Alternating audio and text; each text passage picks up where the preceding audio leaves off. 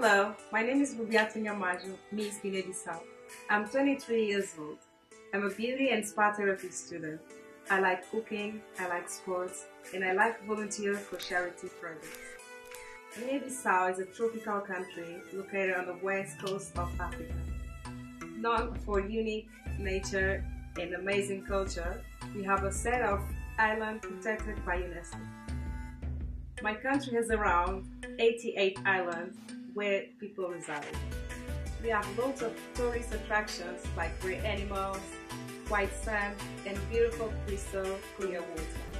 We have a wide range of ethnics, produce a variety of dance, art, music, and food. I'm very happy, very excited, and very proud to represent my country in Miss World 2018.